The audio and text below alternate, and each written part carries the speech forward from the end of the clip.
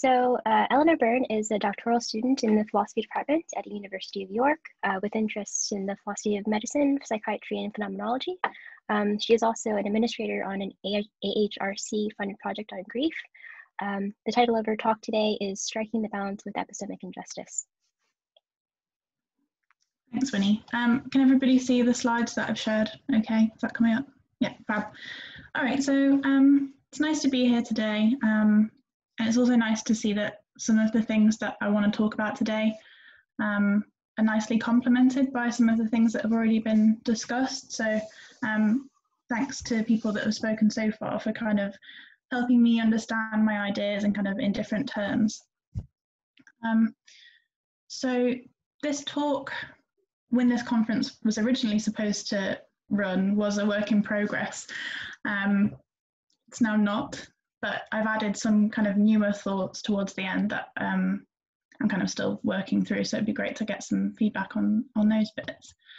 Um, so in overview, um, so I want to talk a little bit about um, epistemic injustice and just how difficult finding that balance is when we're talking about introducing this concept to um, medical students. So um, I want to illuminate some tensions that can arise when we're trying to find that balance between taking steps to prevent against epistemic injustice um, and trying to understand the complexity of um, the predicament that patients uh, are in.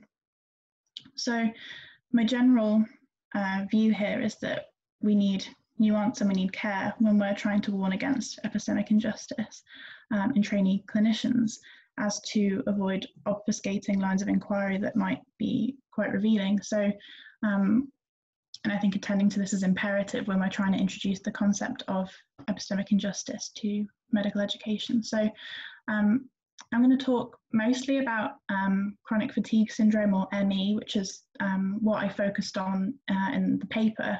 Um, but I'm going to end by talking a little bit about long COVID as a kind of new relevant um, example here or case in point. So uh, first, for those of you that, that, aren't familiar with CFSME, so um, this is an incredibly poorly understood condition. Um, there's a lot of kind of politics around it. Um, there's a lot of contention as well. So um, the World Health Organization classed it as a neurological condition in the 80s, but um, there's been some kind of uh, some schools of thought um, that want to classify it as a psychiatric psychiatric condition um, and so on. So it's very unsettled and, and gets quite heated. So um, the symptomatology is highly heterogeneous, um, but is typically characterized as, um, as well as fatigue uh, that isn't uh, eased by rest, uh, we've got post-exertional malaise, which is um, kind of exhaustion following uh, very minimal sometimes amounts of physical exercise. Uh, sleep problems, muscle joint pain, headaches, uh, flu-like symptoms, feeling dizzy or sick or having heart palpitations. So really super broad range of symptoms there. Um, it's worth noting that some people have tried to uh, separate CFS and ME. Um, and maintain that they're, they're separate conditions. Um, it's a plausible hypothesis, but a lot more work needs to be done. Um, so for just to be in line with current research, I'll say CFS uh, ME. So um, I guess everybody's familiar with what we mean by epistemic injustice by now. Um, there's been uh, some nice explanations of it so far today. So as we know broadly, um, epistemic injustice occurs when one's harmed in their capacity as a knower. So um, Ian Kidd, who is here today, I believe, um, has developed this really nice notion of pathocentric epistemic injustices. So they're ones that target ill people in particular. Um, so we've still got, um, as was mentioned earlier, our kind of testimony injustice and our hermeneutical injustice. So where testimonial injustice um, leads to compromised credibility because of somebody being a member of a particular group, um, and hermeneutic injustice, which is where there are inadequate conceptual resources for understanding one's experience. So this could mean various things, right? We could have Uh, we could not have those resources for whatever reason, or we could have them, um, but we don't attend to them properly, so they, they lack uptake. Um, so a nice paper by uh, Ian and Havi Carel, uh, they talk about uh, exactly these issues um, and discuss how, so the relationship between clinician and patient is not inevitably unjust, but it's structured in certain ways that make these injustices more likely to occur than they would otherwise. Um, and so examples that we're familiar with at this point um, are kind of presumptive attributions of, of negative uh, personality traits um, in people who are ill, prime example being emotional instability. So um, a little bit of background about how, in my view, this relates to CFS ME. So I think there's loads of legitimate concern about the treatment of CFS ME patients. Um, and it, it, seems uncontroversially true that they do experience um, low credibility or unfairly low credibility for various reasons. And I think one of the, the main reasons here is a lack of known biomarkers. So there's no sort of physiological dysfunction, if you like, that can be identified. Um, that's seen as kind of proof of the of the, of the dysfunction. Uh, so there's no kind of blood test or scan or whatever that can reveal the presence of um, of the dysfunction that gives rise to the illness. Um, it's diagnosed by exclusion uh, and usually as a last resort. So um, a nice paper recently by Charlotte Blease and, and others um, focused on CFSME and epistemic injustice um, and highlighted this uh, negative stereotyping that can take place. Um, nice quote from the paper being uncertainty about the condition translates into uncertainty about its sufferers. Um, moreover, another study uh, looked at views of trainee physicians and found that um, a significant number of them had negative views about CFSME and understood it as just tiredness or tiredness plus. So um, it's worth noting this is one reason why people can sometimes be uh, unsure about the label CFS. So chronic fatigue syndrome suggests that fatigue is the, is the principal symptom, but really if you kind of if you ask people and um, find out what their most debilitating symptoms are, um, it's not always uh, the fatigue. So things like uh, light sensitivity or um, muscle pain or joint pain can sometimes be the kind of um, defining characteristics of somebody's illness. Um, so um, another study looked at um, practicing GPs' attitudes towards CFS ME. Um, I got a couple of, of quotes from the GPs on the slide here. So one of them was, if you start labeling a patient, if you're not careful, you might have a self-fulfilling prophecy. Another was, some people like a label, some people like to know what's causing their symptoms, whether it's the truth or not, and some people are looking for a label to attach to their symptoms. Um, now, in the in the Blease paper, um, they argued that these attitudes are kind of evidence of negative stereotyping. Um, consequently, uh, they concluded this group, that is GPs, um, are at high risk of perpetuating these injustices with their future patients, testimonial injustices, that is. And as a result, that's going to exacerbate those hermeneutical gaps that we see that cause so many problems. Um, so I've got two kind of concerns about uh, about this that I'll run through. So the first of those is that um, I think we need to be really careful to recognise the extent of the um, conceptual impoverishment that we're facing with CFSME. So crucially, we need to find that balance between protecting the epistemic status of patients and allowing medical professionals to exercise sensitivity within the given context. The context being vast impoverishment, um, moreover with CFSME, um, vast etiological heterogeneity. So we know that there's not one cause for CFSME, it's a whole range of things. We need to remain sensitive to that. Um, so I think we need caution when attributing testimonial injustice to particular concerns uh, expressed by medical professionals um, so that we don't eclipse one set of legitimate concerns in an attempt to recognise another set of legitimate concerns. Um, so we, we don't want to be insufficiently critical when we're um, making claims of epistemic injustice um, and fail to recognise that we're really struggling to know what's going on here.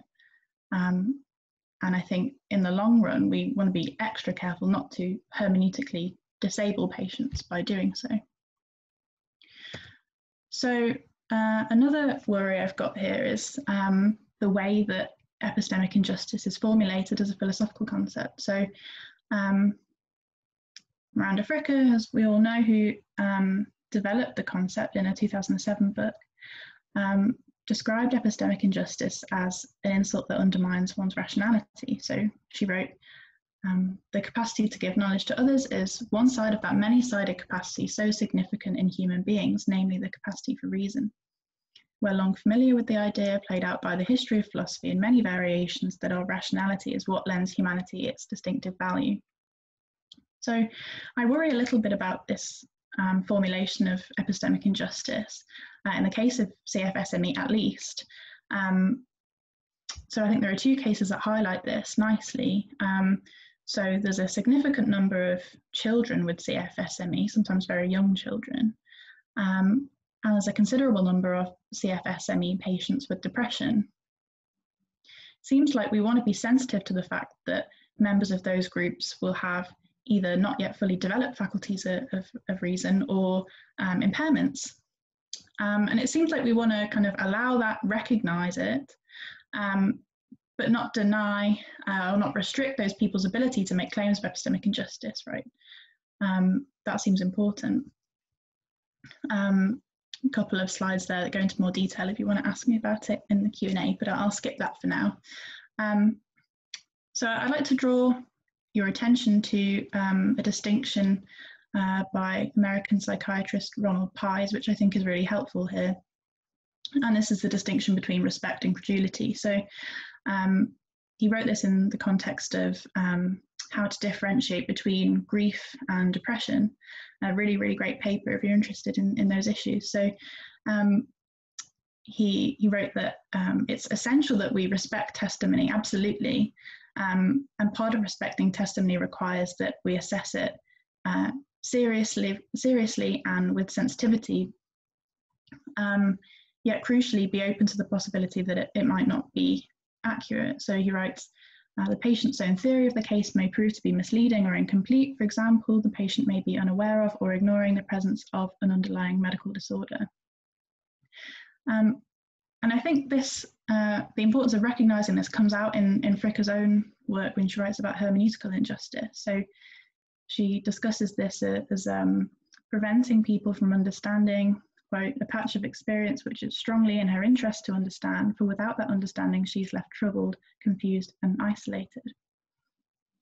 Um, so at this point, um, I'd like to run through a new case, which I think is highly relevant here, which is long COVID, unfortunately. Um, so we're seeing uh, a significant number of reports of long COVID, um, and it's quite worrying. So obviously the, the research into this is, is new and ongoing, where we're far from figuring out what's going on here. Um, but what we've done so far seems to pick out at least four different predicaments um, that are all kind of um, under the label long COVID. So that's uh, first of all being just um, viral persistence, so having COVID for a really long time. Um, the second of those being um, long term organ damage as a result of the infection. Um, another being uh, physical trauma from uh, being in ICU. Um, and the other being post viral fatigue or related syndromes. Um, moreover, another complicated factor here is that um, the clinical presentation, as with COVID itself, is hugely diverse. So there doesn't seem to be kind of uh, one presentation that looks like long COVID. It seems like a um, massive, uh, very broad range of, of things. Um, so not everybody who's presenting with long COVID type symptoms, um, which I reiterate is a super broad set of symptoms, um, not all of those people have had a test. um, for obvious reasons. I mean, I remember just a few months ago that um, it, it, was incredibly difficult to get a test when you needed one. I know a colleague of, of mine at York had to uh, drive uh, their child all the way to Northallerton to get a test, which is hours away. Um, moreover, not everybody that um, had a test uh, had a test that came back positive, um, even though they had very good reason to think that they, they probably were infected with COVID. Maybe they were around somebody for a prolonged period of time who, who definitely did have COVID. Um, and research into long COVID is including these people, um, at least most of the stuff that I've seen. So uh, Nisreen Alwan is conducting a big study, study at the minute. She was, uh, or she is one of the people behind um, calling this condition, long COVID, as a kind of patient made term. She's calling uh, for us to count long COVID.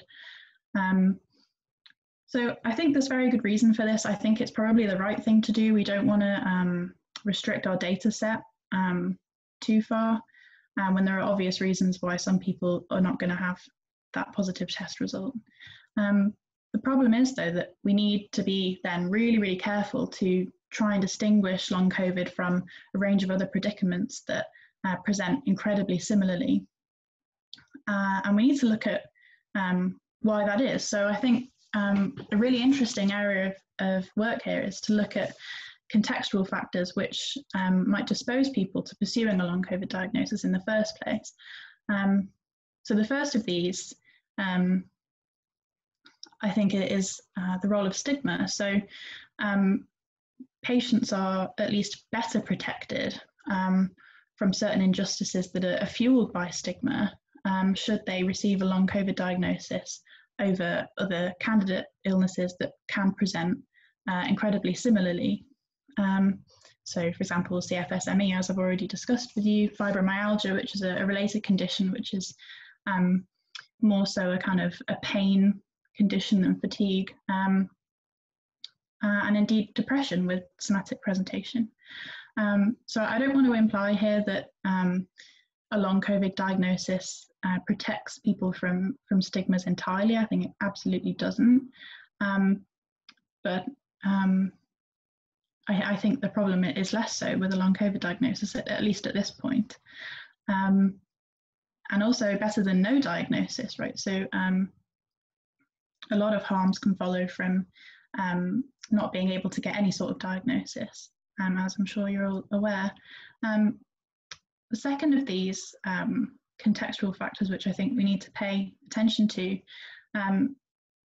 is the epistemic resources that are available to people. So um, everybody's heard of long COVID now. So I've been working on CFSME for uh, three-ish years now, and when people say, "Oh, what do you work on?" they go, "What's that?" Nobody, nobody knows what it is, and now everyone's going, "Oh, we heard about long COVID. That's the thing that you do." Um, so people, people are they have that concept now where they didn't before.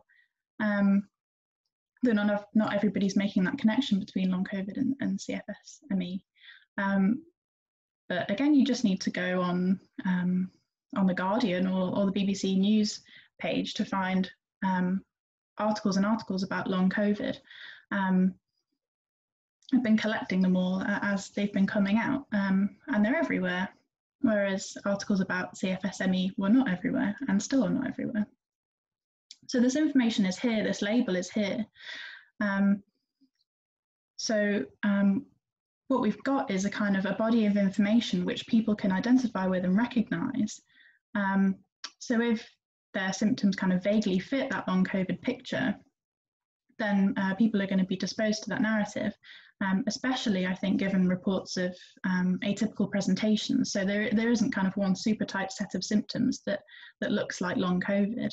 Um, but that list of symptoms seems to be ever expanding, as with COVID itself, right? At first, it, there were the um, the three main symptoms, and then it's uh, it seems to have grown and, and changed as the months have gone by, as we've come to learn more about the condition.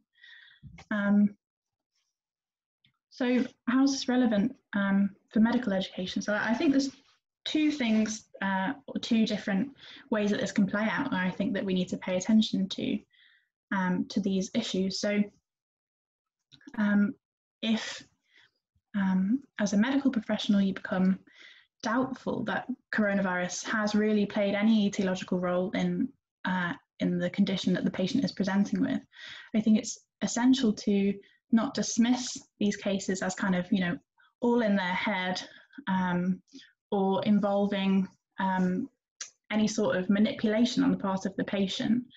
Um, so in so doing, we need to pay attention to um, or pursue rather alternative diagnoses which present or can present very similarly um, and the reasons for pursuing the long COVID diagnosis in the first place.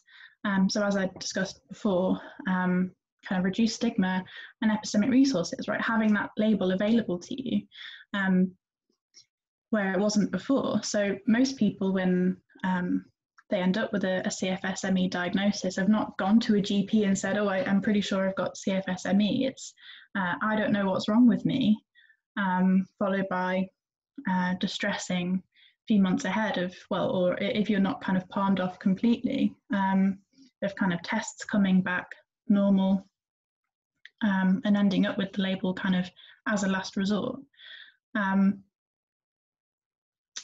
uh, on the other hand, I think um, if we are more sure that um, the coronavirus has played an etiological role in, in the illness, um, we still need to be careful not to um, become narrow in our investigative focus. So um, clearly long COVID is not going to permit to monocausal explanation, um, just like CFSME. So in fact, many people with CFSME cite viral triggers. Um, so Epstein-Barr virus is, um, is a kind of prime candidate here, um, but it doesn't explain all cases. Um, uh, a recent paper by Ken Kendler, who's an um, American psychiatrist, I think is super relevant here and very interesting. Um, so he's discussed kind of various trends in how we uh, look for causal explanations in psychiatry and medicine more broadly over uh, the past few decades. Um, and he made the insightful point that um, intervention with uh, causally relevant factors, which are neither necessary nor sufficient, can still prevent a significant amount of disease. Um, so we need to be open-minded to all causally relevant factors, not just those ones which are um, sufficient or necessary. Um, so going forward, I think um, the most important thing is working on better accommodating and understanding um, all of these related conditions that uh, our understanding of is so poor and that present very similarly, uh, especially if we're going to um, commit to the, the project of hermeneutically enabling patients uh, on a deep level, not just superficially. Um, and this requires um, that we retain sensitivity to all causally relevant factors, but crucially, we need to be very careful about how we weight them. So I think we this is a, a big problem that relates to uh, stigmatization, especially of psychiatric illnesses, um, that uh, causal factors which implicate psychiatric illness seem to be kind of weighted more heavily than uh, than others. So um, polycystic ovary syndrome is a really good example of this. So we know that um, insulin resistance um, is a causal factor or causally relevant factor. Definitely not necessary, it's definitely definitely not sufficient. Um, again, we know that psychological stress is a relevant causal factor. Again, it's neither necessary nor sufficient. But um, pursuing the latter um, as a causal factor, um, we need to be careful how, how much weight we put on those respective causal factors. So, emphasizing psychological stress seems to imply, obviously, kind of psychiatric predicaments. And with that, um, because of the, the kind of, you know, the long history of psychiatric, um, the stigmatization of psychiatric illnesses, um, kind of blame, weakness of character, you name it. Um, whereas insulin resistance doesn't seem to carry that. Um, and people seem quite comfortable to say, well, this is this is a causal factor, but of course it's not the whole picture. Um, so how we how we weight those causal factors is um, is I think essential. Um, um, so we shouldn't, uh, I don't think, ignore those causal factors. I think we need to pay attention to them and take them very seriously, but be careful about about what they mean or how we uh, how we understand them and frame them. Um, so ultimately, um, the point I want to make here is that uh, I think collaboration between what uh, Bill Fulford and, and others referred to as stakeholder groups. So in, in this paper, they wrote um, the focus of the paper was about psychiatry, but they said that this applies to um, or should apply to medicine more broadly. Um, so stakeholder groups they defined as anybody who's kind of involved in in the um, in the illness in any way. So um, patients, um, family of patients, um, researchers, clinicians, and so on. So all of these people need to be part of the, the process of understanding um, the relevant conditions. And I think we are seeing something like this with long COVID, which is really nice to see. So there's a lot of patient-led research um, happening at the minute. Um, so I think both patients and medical professionals of various types can contribute um, sometimes independently, sometimes collaboratively over various domains um, of understanding here, um, and that accordingly um, building our understanding of, of, these conditions needs to be deeply collaborative. And I think that this um, is complemented nicely by some of the things that have been said so far today about um, epistemic humility. It was not a term I'm kind of used to using, but um, it's nice to see some kind of similar perspectives on that. Um, so that's all I've got to say about that. Um, I've got the, the papers that I spoke about here as well, if anybody's interested. Thanks. Thanks so much, Eleanor.